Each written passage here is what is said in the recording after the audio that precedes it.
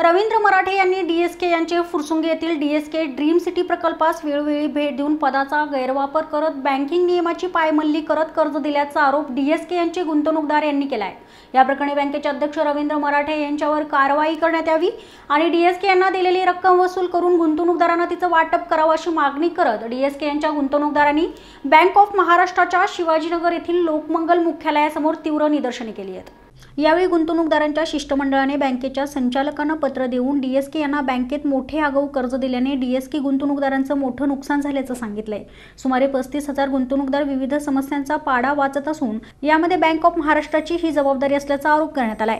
DSK यांनी गुंतवणूकदारांना पुढील तारखांचे चेक दिले मात्र त्यावर बँक ऑफ महाराष्ट्राने देखरेख ठेवली नाही. हे चेक बाउन्स झाल्यानंतर बँकेने डीएसके यांच्या खात्यात पुरेसा निधी नसल्याचं जाणीवपूर्वक लपवून ठेवलं. बँकेने कडक धोरणाअंतर्गत डीएसके यांना आणखीन कर्ज मिळणार नाही अशी भूमिका दोन हजार तेरामध्येच घेणं